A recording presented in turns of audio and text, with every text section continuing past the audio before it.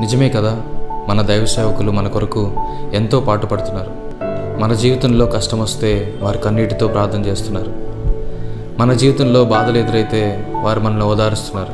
అటువంటి దైవ సేవకుల గురించి ఒక నెగిటివ్ న్యూస్ వస్తే అది నిజమో అబద్ధమో తెలియకుండా వారిని నిందించడం చాలా పెద్ద పాపం. ఫిబ్రిలికి రాసిన పత్రిక పదమూడో అధ్యాయం పదిహేడవ వచ్చిన ప్రకారంగా మీ పైన నాయకులుగా ఉన్నవారు లెక్క ఒప్పజెప్పవలసిన వారి వలె మీ ఆత్మలను కాయచున్నారు.